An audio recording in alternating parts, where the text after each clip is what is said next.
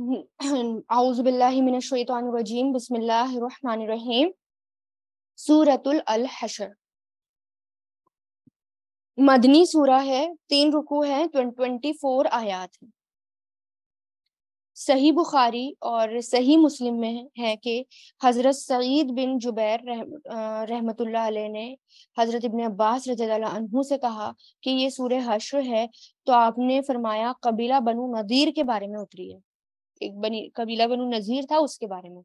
बुखारी की रिवायत में है कि आपने जवाबन फरमाया कि ये सूरा सूर्य बनु नजीर है। यानी इस सूरा को सूरा बनु नजीर भी कहा जाता है, क्योंकि इसमें बनु नजीर का ज़िक्र बहुत ज़्यादा है। ठीक है?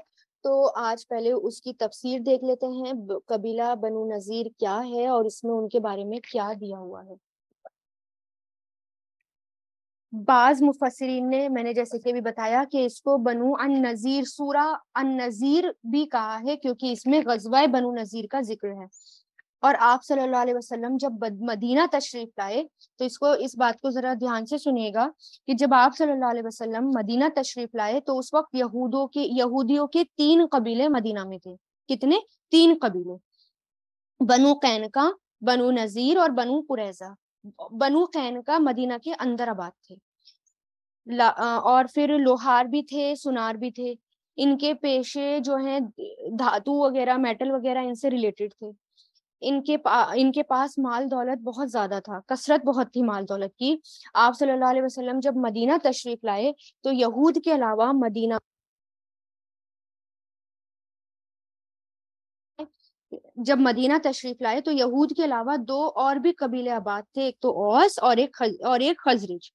बनु कैनका का ताल्लुक खजरज से था ठीक है? यानी दो कबीले किसके? कोई दूसरे यानी मुश्रिकी। तो बनु कैनका जो कि यहूदी था उसका ताल्लुक किसके किससे था? खजरज से था। हलीफाना ताल्लुक थे हलीफाना ताल्लुक किसको कहते हैं? हाथ पे हाथ रख के जो कसम खाते हैं ना, कि आज से मैं तुम्हारा दोस्त हूँ और तुम्हारी तुम्हारी खुशी मेरी खुशी, तुम्हारी, तुम्हारे दुश्मन मेरे दुश्मन, तुम्हारे दोस्त मेरे दोस्त, उसको कहते हैं। और खजरज खजरज जो थे, वो ज़्यादा मालदार थे। और इनके अपोजिट बनु नजीर और बनु कुरैजा।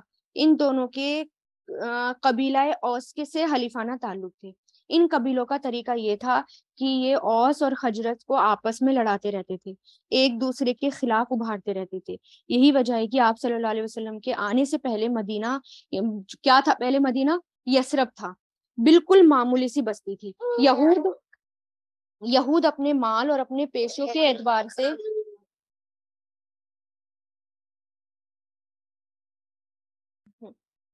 तो क्या था कि आपस में लड़ाते रहते थे। यहूद अपने माल और पेशों के एतबार से और अहले किताब और के होने के एतबार से, यानी पढ़े लिखे होने की वजह से इन पर छाए हुए थे। ये बस्ती बिल्कुल भी तरक्की नहीं कर सकी। कौन सी बस्ती?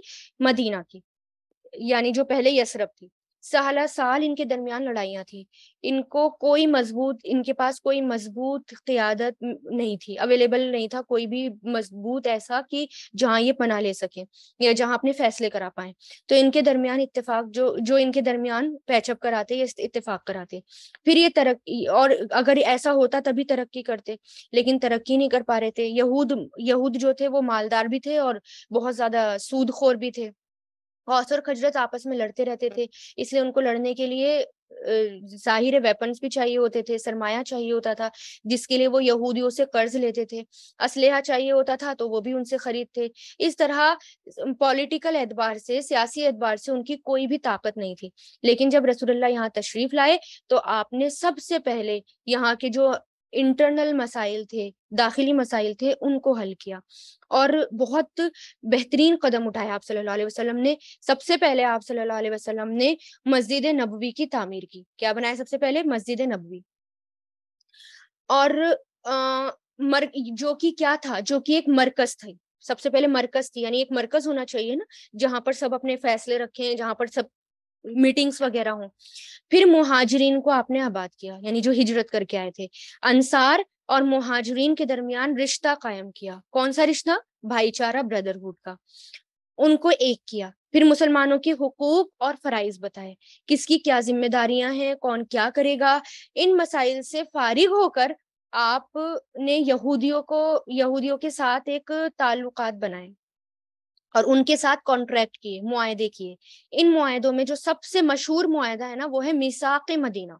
इसका ज़िक्र पहले भी आ चुका।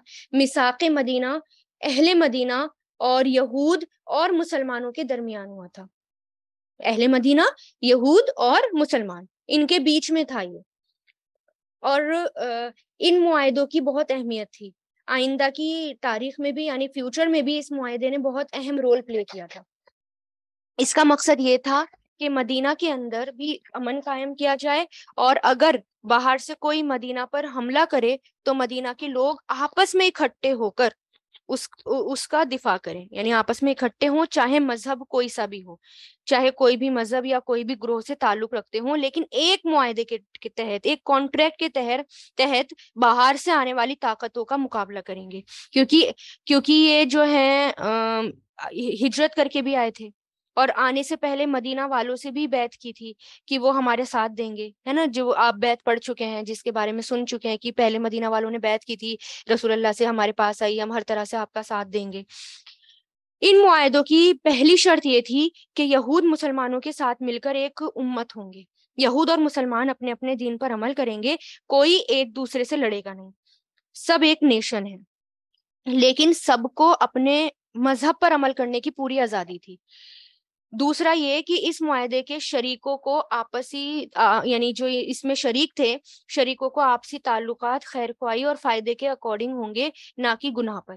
यानी गुनाह की बातों पर ताल्लुकात नहीं होंगे। अगर कोई बाहर की ताकत मदीना पर हमलावर करेगी तो सब मिलकर उसका दिफा करेंगे। जब तक, यानी चौथा ये कि जब तक जंग रहेगी, यहूद भी मुसलमानों के साथ खर्च बर्दाश्त करेंगे और हर फरीक अपने अपने साइड का दिफा करेगा। फिर ये कुरेश और उनके मददगारों को पनाह नहीं दी जाएगी। फिर छठा ये कि मजलूम की मदद की जाएगी। ये मुआदा किसी जालिम, मुजरिम के लिए आड़ नहीं बनेगा, यानी जालिम को पनाह नहीं दी जाएगी। सातवां ये, कोई आदमी अपने हलीफ की वजह से मुजरिम न ठहरेगा, क्योंकि हलीफ की वजह से मुजरिम ठहरने का मतलब क्या होता था कि तुम्हारे हलीफ ने तो ये काम किया है, तुम भी मुजरिम हो। यानी करता कोई था तो भुगतता भी कोई था। इस मुआदे के सारे शरीकों पर, यानी आठवां ये कि इस मुआदे के सारे शरीकों पर मदीना में हंगामा हुआ और यानी अगर हंगामा हुआ या कुश्ती हुई या खून बहा जो भी है वो हराम है। यानी आपस में तुम नहीं लड़ोगे, जो जो शरीक है वो आपस में नहीं लड़ेंगे। नवा ये, इस मुआदे के शरीकों में अगर झगड़ा हो जाए तो उसका फैसला आप सल्लल्लाहु अलैहि वसल्लम करेंगे और यही मुआदा है, जिससे मदीना की एक रियासत जिससे मदीना एक रियासत बना। और वहाँ के रहने वाले एक कौम बन गए। और यहाँ से मदीना की तारीख का आगाज़ होता है, यहाँ से शुरुआत होती है। और आप सल्लल्लाहु अलैहि वसल्लम को सरबराह तस्लीम किया गया, लीडर बनाया गया। ठीक है? अरसाए दराज तक, यानी लंबे टाइम तक मदीना के मामला इतने ख़राब थे, इतनी बदमनी थी, इस, और इसलिए मुख्तलिफ़ कबीलों को इसी में आफियत मालूम हुई। यानी इतने ज़्यादा झगड़े हुए, इतने ज़्यादा झगड़े थे, इतने मसाइल थे, साल साल के झगड़े थे, लोगों को क्या लगा कि नहीं, यही हमारे फ़ायदे की बात है, इसलिए लोगों ने माना भी। और जो बाकी कबीले थे, एक हुए तो यहूदियों को भी मानना पड़ा। यानी क्योंकि सारे कबीले मान गए तो यहूदी अब कैसे अलग रह सकते उनको भी मानने मानना पड़ा। वैसे यहूद भी देखने में एक नज़र आते थे, वो भी तीन कबीलों में बटे हुए थे।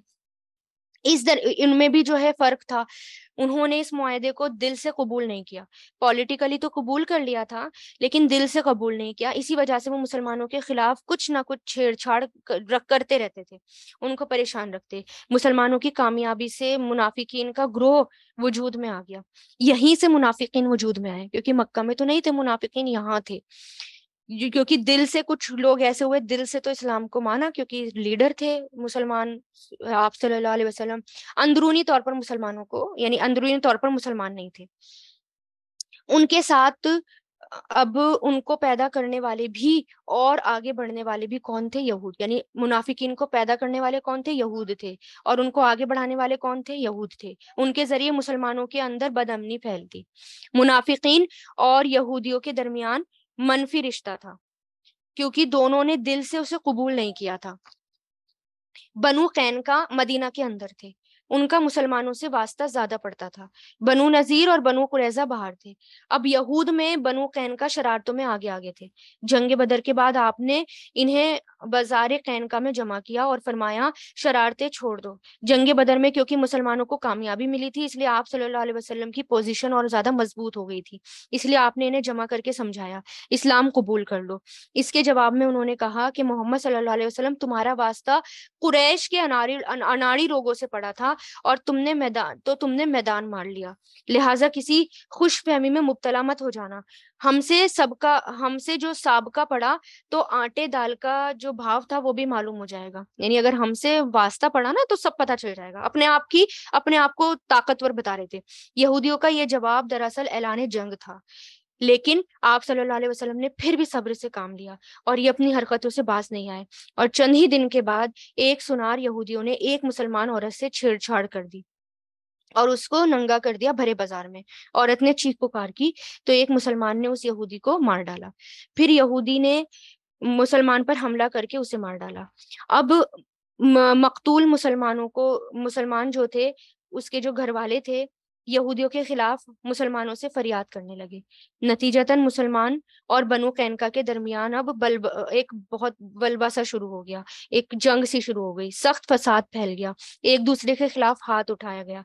ये हाल देखकर आप सल्लल्लाहु अलैहि वसल्लम ने जो है शवाल दो हिजरी में एक लश्कर तैयार किया और बनु कैनका के यहाँ जा पहुँचे और उनको सामने आकर लड़ने की ज़रूरत ही ना हुई थी। ठीक है क्योंकि वो सामने आकर तो लड़ ही नहीं रहे थे, इसलिए आप सल्लल्लाहु अलैहि वसल्लम वहाँ पहुँचे। फिर उनको क्या था? उनको अपनी मालदारी का घमंड भी था। जब आप वहाँ पहुँचे तो सब किलों में बंद हो गए। किसी को सामने आने की हिम्मत नहीं हुई। पंद्रह दिन तक मुहासरा जारी रहा, क्योंकि अब जंग करनी थी ना, क्योंकि ऐलान जंग थी, बहुत जंग शुरू हो गई थी अब, मुसलमान और यहूदियों के बीच में। अब जब आप सल्लल्लाहु अलैहि वसल्लम ने लश्कर तैयार किया और मुसलमानों से लड़ने के लिए वो सॉरी, यहूदियों से लड़ने के लिए पहुँच गए, यहूदी, क्योंकि आप सल्लल्लाहु अलैहि वसल्लम का रोब ज़्यादा था। आप सल्लल्लाहु अलैहि वसल्लम और मुसलमानों की रोब से ताकत की गई थी, एक मिनट। तो मुसलमानों की ना रौब से मदद की गई थी और आप सल्लल्लाहु अलैहि वसल्लम का रौब था। जब आप सल्लल्लाहु अलैहि वसल्लम ने लश्कर तैयार किया ना शवाल दो हिजरी में, लश्कर तैयार किया और लड़ने के लिए, जंग के लिए कहाँ पहुँच गए? बनु कैनका के यहाँ। लेकिन उन्होंने क्या किया? वो किलो के अंदर बंद हो गए। उनके अंदर हिम्मत ही नहीं हुई कि वो आप सल्लल्लाहु अलैहि वसल्लम या मुसलमानों के सामने आते और बाकायदा जंग करते। फिर रसूलुल्लाह ने क्या किया? यानी मुसलमानों ने क्या किया? वो किले को घेर लिया। चारों तरफ़ से। पंद्रह दिन तक मुहासरा जारी रहा। यानी ये जो घेरा घेरा था, वो पंद्रह दिन तक जारी रहा।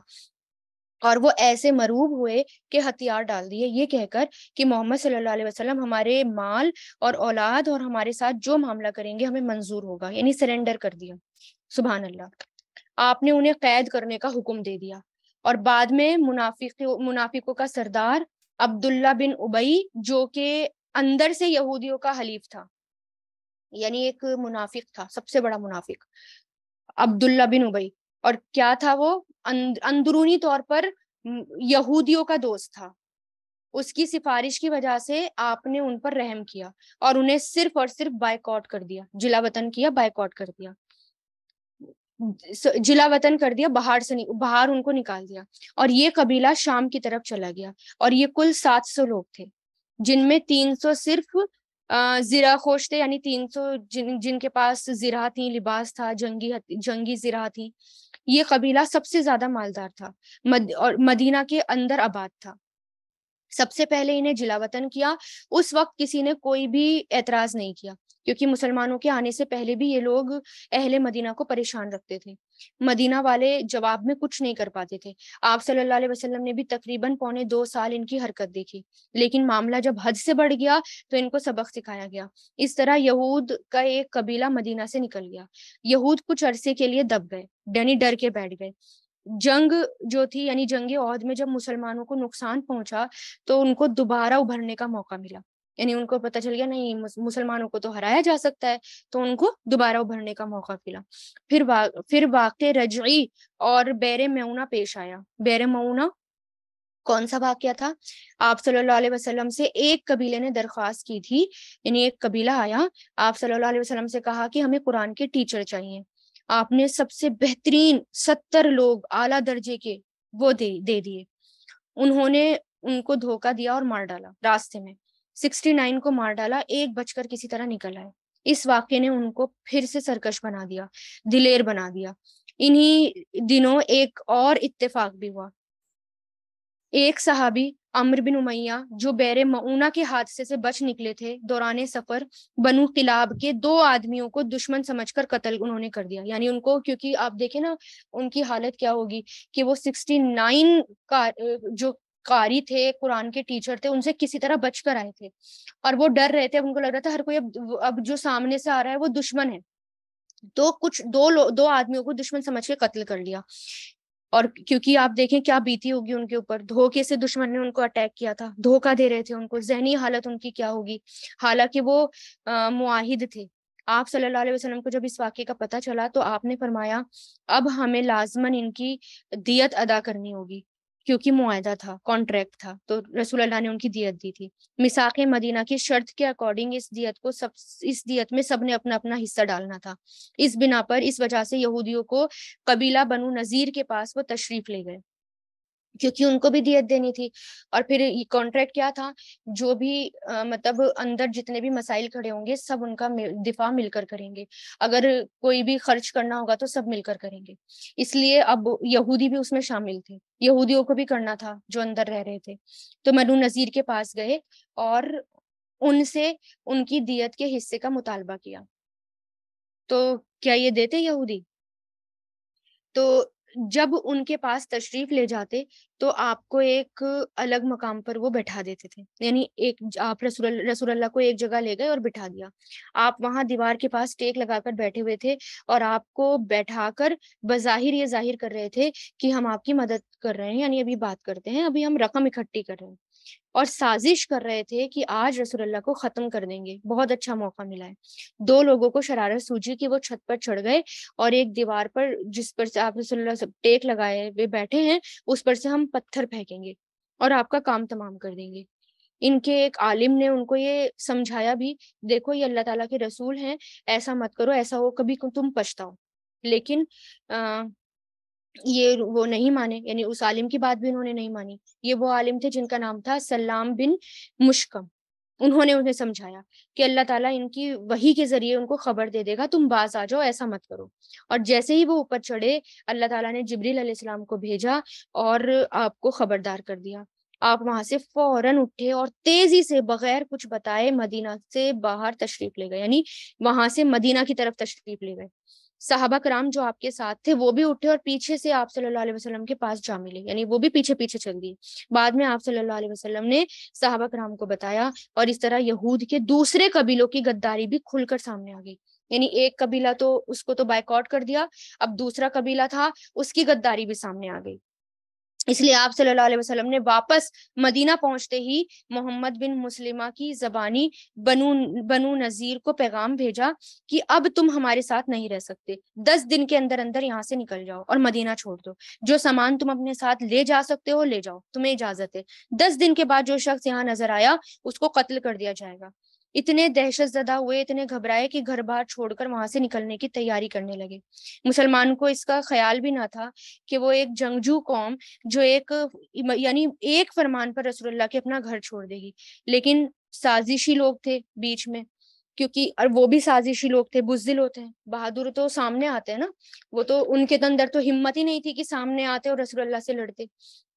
यहूदी जब जाने की तैयारी में मसरूफ थे तो अब्दुल्ला बिन उबई ये कौन था ये अब्दुल्ला बिन उबई? यहूदियों का सरदार। उसने पैगाम भेजा कि घबराने की ज़रूरत नहीं है, अपनी जगह पर डट जाओ।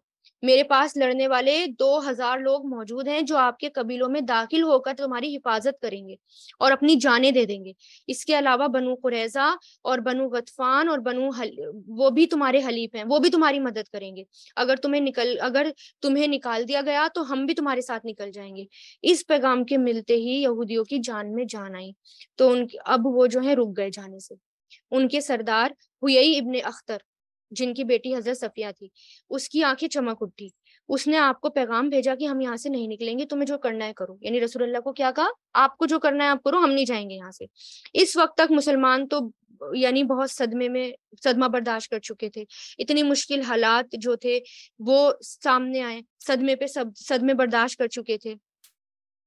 और अब देखें इतना बड़ा जो हादसा हुआ था, बैर मऊना का वाक्य हुआ, जंग ओहद की, ओहद भारी ताकतें यानी सब के सब मुसलमानों के खिलाफ थे।